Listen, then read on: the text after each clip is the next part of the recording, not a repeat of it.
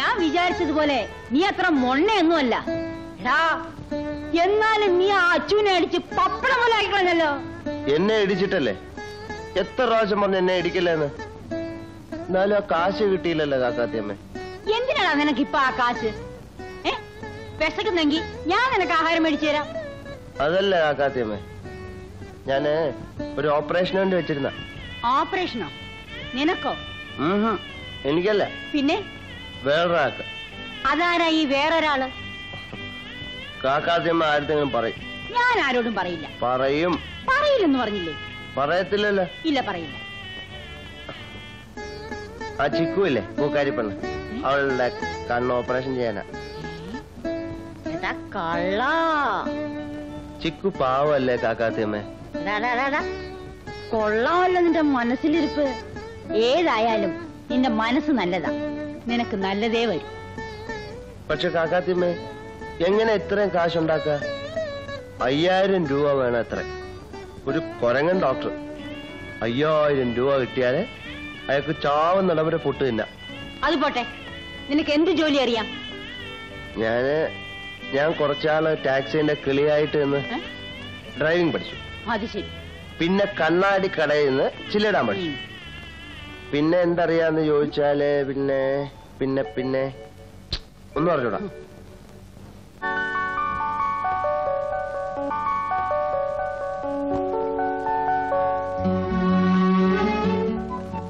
വാ.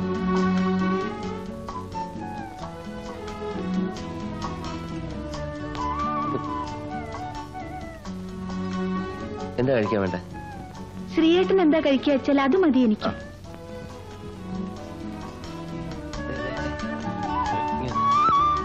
ഒരു മസാല ദോശയും ഒരു കാപ്പി ഇവിടെ എന്താ വില? അഞ്ചര രൂപ. ഇപ്പൊ രണ്ട് മസാല ദോശയും കാപ്പിയും പതിനൊന്ന് രൂപ. ഒരു മസാല ദോശയും ഒരു കാപ്പിയും ഒരു ഗ്ലാസ് പച്ചവെള്ളവും ബില്ലും ആ ടേബിളിൽ ശരി.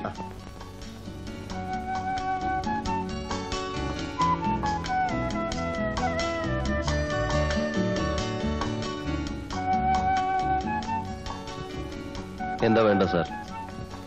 ഒരു രണ്ട് മസാല ദോശയും രണ്ട് കാപ്പി ശാലിനിക്ക് വേറെ എന്തെങ്കിലും വേണം? വേണ്ട. ആ വേണം വേണം. ആ വെയിറ്ററിന്റെയും ശ്രീയേട്ടന്റെയും ശബ്ദം എന്താ ഒരേപോലെ? അത് പിന്നെ എന്റെ കാറ് വർക്ക്ഷോപ്പിലായി പോയി അല്ലെങ്കിൽ നമുക്ക് രണ്ടുപേർക്കും കാറ് വരായിരുന്നു.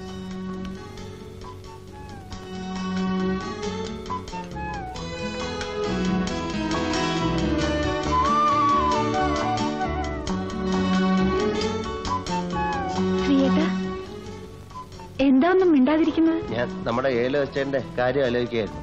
ഇന്ന് അഞ്ചിലോട്ട് അയക്കേണ്ട.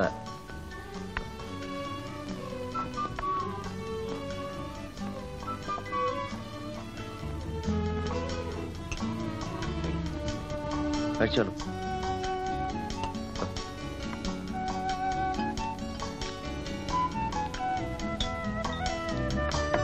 കഴിക്കും കഴിക്കും. മസാല ദോശയ്ക്ക് ഭയങ്കര എരിവല്ലേ? അത്ര വലുതായിട്ടൊന്നുമില്ല. അപ്പൊ എന്റെ ദോശയ്ക്ക് മാത്രമാവും.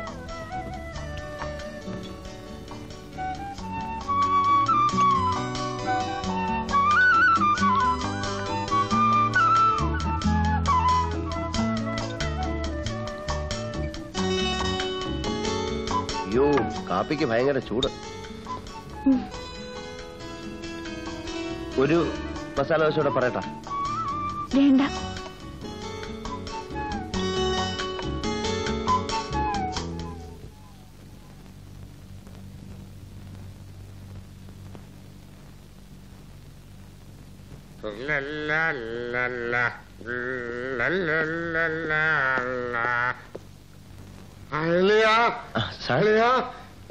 അളിയ അളിയൻ. അന്ന് എന്നെ വിട്ടിട്ട് പോയി കളഞ്ഞല്ലേടാ അളിയ ഞാൻ ഇപ്പൊ വന്നില്ലേ? ഇനി നീ പോവണം? നീ എന്നെ വിട്ട് പോവില്ലാന്ന് സത്യം ചെയ്യളിയ സത്യം ചെയ്യ. സത്യം. ഇനി ഞാൻ പോവില്ല. എനിക്കൊരു? അയ്യായിരം രൂപ? വേണം. അയ്യായിരം രൂപ. അയ്യായിരം ആക്കി നിന്നളിയ അമ്പതിനായിരം രൂപ അളിയന് ഞാൻ തരും. ആ, വാ നമുക്ക് വീട്ടിലേക്ക് പോവാം. എന്റെ വീട്ടിലേക്ക് അല്ലെ എന്റെ വീട്ടിലേക്ക്. വാളിയ എന്റെ ജീവൻ രക്ഷിച്ച അളിയന് അയ്യായിരം രൂപയ്ക്കാണ് കേരള. അളിയന്റെ സ്വന്തം കാറിനോട്ട് കയറാം.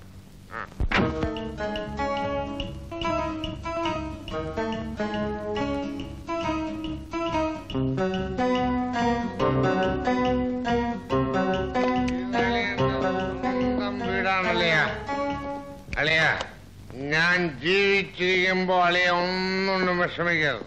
ഇത് മുഴുവൻ അളിയെന്നുള്ളതാണല്ലയ അളിയ അളിയ ഇത് അളിയൻ എത്ര രൂപ വേണം? ഞാൻ ജീവിച്ചിരിക്കുമ്പോ രൂപയ്ക്കാണോ അളിയ അമ്മം? അളിയൻ ധൈര്യമായിട്ട് ഇവിടെ ഞാൻ കൊണ്ടുവരാം.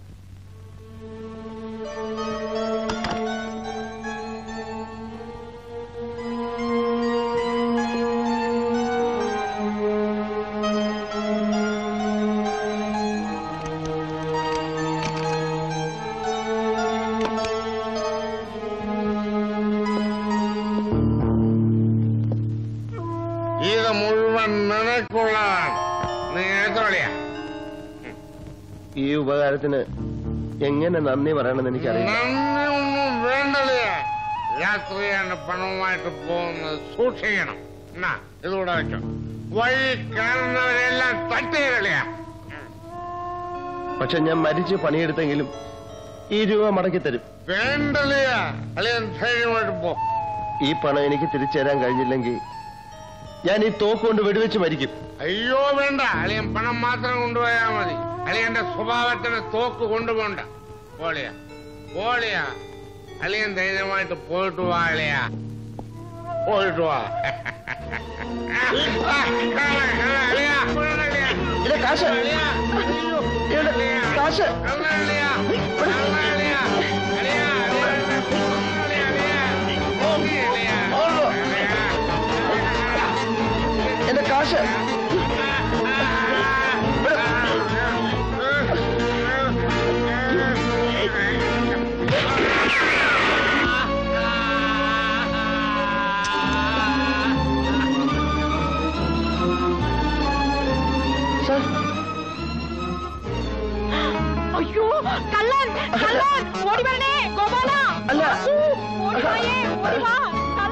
കള്ളൻ അയ്യോ അയ്യോ പോന്നല്ലോ.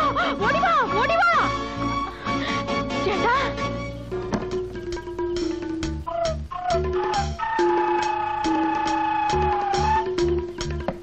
ചിക്കു. ചിക്കു. ചിക്കു. ആരാ? ഞാൻ അശ്രീക്കുട്ടൻ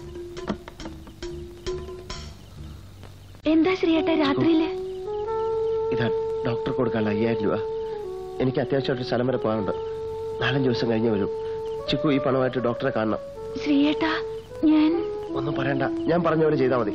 ഞാൻ പറ്റേ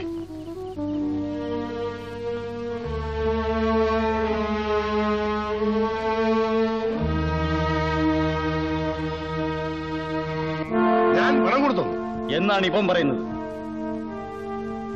നിനക്ക് പണം തരാൻ ഞാനാരാ? നിന്റെ മച്ചമ്പിയോ? ആളിയനോ അതോ ഞാനിവിടെ ഇവിടെ ധർമ്മശാല നടത്തുന്നു? വഴിയെ പോകുന്ന തെണ്ടുകൾക്കൊക്കെ ധർമ്മം കൊടുക്കാൻ. ഇവൻ ഇതിനു മുമ്പ് ഇവിടെ കയറി മോഷ്ടിക്കാൻ നോക്കിയിട്ടുണ്ട്. അന്ന് ഞങ്ങൾ തടഞ്ഞപ്പോ പൊട്ടം കളിച്ച് രക്ഷപ്പെട്ടു. നിങ്ങൾ കള്ളം പറയരുത്. നിങ്ങളല്ലേ എനിക്ക് അയ്യായിരം രൂപ എന്ന് സാറേ ഇയാൾ കള്ളു കുടിച്ച് പറയുന്നതൊന്നും ബോധം വീഴുമ്പോ ഓർമ്മ ഉണ്ടാവില്ല. എന്റെ തൊണ്ടയ്ക്ക് പറഞ്ഞ കൊല്ലും ഞാൻ. കണ്ടോ കണ്ടോ കണ്ടോ കണ്ടോ കണ്ടോ കണ്ടോ. ഇതുപോലെയാണ് ഇന്നലെ രാത്രിയിൽ എന്റെ തലക്കടിച്ചിട്ട് കാശ് കൊണ്ടുപോയത്. അയ്യോ ഞാൻ അടിച്ചില്ല. അവന്മാരാ അടിച്ചത്. അപ്പൊ നിന്റെ കൂടെ വേറെ ആൾക്കാരും ഉണ്ടായിരുന്നു അല്ലേ? അവർ വേറെ വന്നതാ. അവരാ കള്ളന്മാര്. ഇവൻ ആ കള്ളന് കഞ്ഞി വെച്ചത് ഞാൻ ആർക്കും കഞ്ഞിയും ചോറൊന്നും വെച്ചിട്ടില്ല. ഇയാൾ എന്തൊക്കെ കളവാ പറയുന്നത് ദൈവം ഇയാളുടെ തല ഇടുത്തി വീഴണേ. എന്നിട്ട് ആ കാശ് എവിടെ? കാശ്. കാശ് എവിടെയെന്ന്? കാശ് കളഞ്ഞുപോയി നീയൊക്കെ എന്തിനാടാ കക്കാൻ നടക്കുന്നത്? കാശുണ്ടാക്കാൻ പറ്റുന്ന പാടിനെ പറ്റി വല്ല ചിന്തയുണ്ടായിരുന്നെങ്കിൽ നീ ആ പണം കൊണ്ട് കളയുമായിരുന്നോടാ? നീ മര്യാദയ്ക്ക് കാശ് എവിടെയെന്ന് പറയുന്നു അതോ? ഞാൻ പറയില്ല. ഇവൻ കള്ളനാണെന്ന് വ്യക്തമായില്ലേ? ആദ്യം പറഞ്ഞു തന്നതാണെന്ന്. അതെ. ഇപ്പൊ പറയുന്നു കളഞ്ഞതാണെന്ന്. ലേറ്റസ്റ്റ് ആയിട്ട് പറയുന്നു ഇവിടെ ഉണ്ടെന്ന് പറയൂല്ല എന്ന് നീ പറയില്ല അല്ലടാ. ഞാൻ പറയില്ല. നിന്നെ കൊണ്ട് പറയിപ്പിക്കാമെന്ന് നോക്കട്ടെ. അടക്കം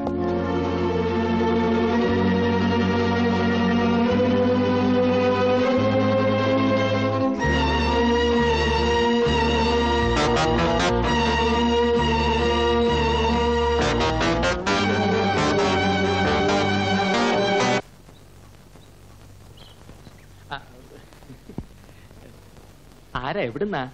പ്രൊഫസർ ചക്രവാണി. ഭൂതം ഭാവി വർത്തമാനത്തിന്റെ അതെ. ആ പ്രതിഷ്ഠ ഇവിടെ. ഒരു ഒരു ഫോർ ഡേയ്സ് മൂന്ന് ദിവസം കഴിഞ്ഞു വരും. എനിക്ക് അടിയന്തരമായിട്ട് ഒരു കാര്യം പറയാനുണ്ടായി അയ്യോ ആരുടെ അടിയന്തരമായിരുന്നാലും അദ്ദേഹം ഇവിടെ ഇല്ല. ഒരു അന്ത്യാത്മിക പര്യടനത്തിലാണ്. പേരും മേൽവിലാസവും ഉണ്ടെങ്കിൽ തരൂ. പ്രൊഫസർ വരുമ്പോ ഞാൻ വിവരം പറയാം. അയ്യോ അത് പ്രൊഫസർ അല്ലേ അല്ല അത് ലെക്ചറാ അത് പ്രൊഫസറാ? അല്ല. ഞാൻ മുമ്പ് കണ്ടിട്ടുള്ളതാ. നഗ്നനേത്രങ്ങളാൽ ദൃശ്യമാവുന്നത് മുഴുവൻ പരമമായ സത്യമായിക്കൊള്ളണമെന്നില്ല. പഞ്ചഭൂതങ്ങളും പഞ്ചേന്ദ്രിയങ്ങളും ആവർത്തനത്തിന്റെ നിഗൂഢതയിൽ സമഞ്ജസമായി സമ്മേളിക്കുമ്പോൾ ഉത്ഭൂതമാകുന്ന ജുഗുപ്സാവഹമായ വെറും തോന്നലാവാം അത്. ദേവി ഇത് ഇപ്പോൾ തന്നെ പ്രൊഫസറെ കാണാൻ എന്നെ ഒന്ന് അനുവദിക്കണം. അത് പ്രൊഫസറാണെന്ന് എനിക്ക് നല്ല ഉറപ്പാണ്. സുഹൃത്തെ എത്ര വിശദീകരിച്ചാലും നിങ്ങൾക്ക് മനസ്സിലാക്കാനൊക്കാത്ത ഒരായിരം പരിരംഭണങ്ങളുണ്ട് പ്രപഞ്ചത്തിൽ. ഒന്ന് ഞാൻ സമ്മതിക്കും. നിങ്ങൾ കണ്ടത് പ്രൊഫസർ ചക്രവാണിയെ തന്നെയാണ്. പക്ഷേ ആത്മാവില്ലാത്ത ശരീരം ജഡമാണെന്നറിയുക. നിങ്ങൾ പ്രൊഫസറുടെ ഭൗതിക ശരീരത്തെയാണ് കണ്ടത്. അദ്ദേഹത്തിന്റെ ആത്മാവ് അങ്ങ് കാശിയിലോ പൂഞ്ഞാറ്റിലോ ബദരീനാഥത്തിലോ ആയിരിക്കും. ആത്മാവ് അവിടെ നിന്ന് എത്താൻ മൂന്ന് ദിവസമാകും. അതുകൊണ്ടാണ് മൂന്ന് ദിവസം കഴിഞ്ഞ് വരാൻ പറഞ്ഞത്. ആ മേലുല്ലാസം തന്നിട്ട് പൊയ്ക്കോളൂ. K P Sankunnipillai contractor Kavanad P O. ശരി. ധൈര്യമായിട്ട് പൊയ്ക്കോ. എല്ലാം നല്ലതിനാണെന്ന് വിശ്വസിച്ച് ധൈര്യമായിട്ട് വരൂ.